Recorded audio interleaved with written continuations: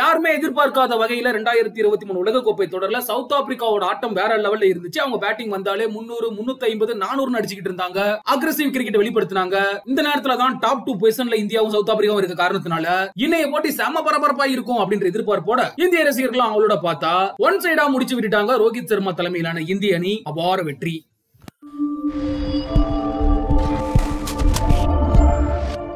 ரெண்டாயிரத்தி இருபத்தி மூணு உலகக்கோப்பை தொடர்ல இந்திய அணியை பொறுத்தளவுக்கு இது வரைக்கும் ஏழு போட்டியில விளையாடி இருந்தாங்க ஏழு போட்டியிலையும் வின் பண்ணியிருந்தாங்க.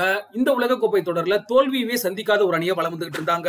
இதே வேளையில சவுத் ஆப்பிரிக்காவை எடுத்து பார்த்தோம் அப்படின்னா ஒரே ஒரு தோல்வி மட்டும் தான் பதிவு பண்ணியிருந்தாங்க. புள்ளிப்பட்டியல இந்தியாவை தொடர்ந்து இரண்டாம் இடத்திலேயே நீடிச்சாங்க. இந்த நிலையில தான் புள்ளிப்பட்டியல முதல் இரண்டு இடங்கள் இருக்கக்கூடிய இந்தியா மற்றும் சவுத் ஆப்பிரிக்கா அணிகள் உலகக்கோப்பை தொடரோட முப்பத்தி ஏழாவது லீக் போட்டியில இன்னைக்கு மோதினாங்க. கொல்கத்தாவில் இருக்கக்கூடிய ஈடன் கார்டன் மைதானத்துல. இந்திய கேப்டன் ரோஹித் சர்மாவுக்கும் இந்த மைதானத்துக்கும் இருக்கக்கூடிய பந்தமானது சொல்லவே தேவையில்லை. ராஜயோகம் அப்படின்னு தான் சொல்லணும். டாஸ் டாஸையும் வின் பண்ணாரு பேட்டிங் சூஸ் பண்ணாரு. அடி என்ன தொடக்கங்க இது? இந்த தொடர் முழுவதுமே ரோஹித் சர்மாவோட அடி சர வெட்டி அப்படின்னு தான் சொல்லணும். கூடவே சுப்மன் கில். செம்ம தொடக்கம் கிடைச்சது இந்திய அணிக்கு. அதிரடியை காட்டினாங்க.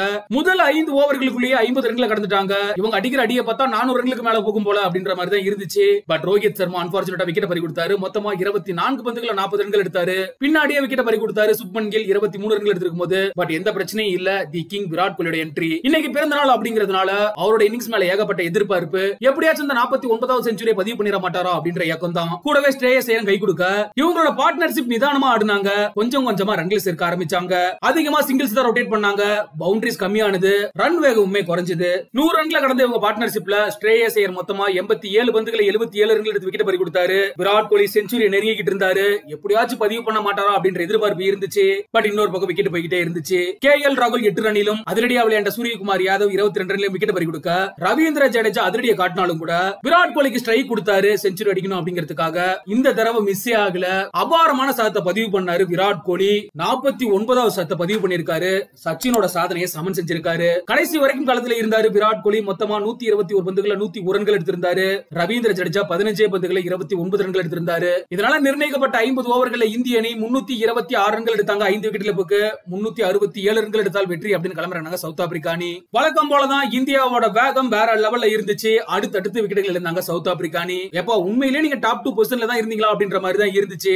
செம ஃபார்ம்ல இருக்கக்கூடிய டிகாக் ஐந்து ரன்னிலும் கேப்டன் பவுமா பதினோரு ரன்னிலும் ஏடன் மார்க்கர் மூணு ரன்னிலும் கிளாசன் ஒரு ரன்னிலும் வேந்தர் தூசன் பதிமூணு ரன்னிலும் நடைய கட்ட நாற்பது ரன்களுக்குள்ளேயே ஐந்து விக்கெட் எழுந்துட்டாங்க பயங்கரமா சொதப்பினாங்க சவுத் ஆப்பிரிக்கா அணி இந்தியாவுல ஃபாஸ்ட் பவுலர்ஸ் போட்டாலும் விக்கெட் விழுவுது ஸ்பின்னர்ஸ் போட்டாலும் விக்கெட் விழுவுது. ஜடேஜா பேட்டிங்ல மட்டும் இல்ல பவுலிங்லயும் நான் வேற லெவல்ரா அப்படிங்கிற மாதிரி ஓவராலா ஆல்ரவுண்டரா செம பெர்ஃபார்மன்ஸ் கொடுத்திருக்காரு. டக்கு டக்குன்னு விக்கெட்ல தட்டி தூக்குனாரு. டேவிட் மில்லர் பதினோரு ரன்னிலும் கேசவ் மகாராஜ் ஏழு ரனிலும் வெளியேற ஒன் சைடாவே மேட்ச் இந்தியா கைக்கு வந்தாச்சு. கடைசியா மார்க்கோ யான்சன் பதினான்கு ரனிலும் ரபாடா ஆறு ரன்னிலும் லுங்கிங்கிடி டக் அவுட்டும் ஆக சவுத் ஆப்பிரிக்கா அணி இருபத்தி ஏழு புள்ளி ஒரு ஓவர்களே ஆல் அவுட் ஆகிட்டாங்க மொத்தமாவே எண்பத்தி மூணு ரன்கள் மட்டும் தான் எடுத்தாங்க.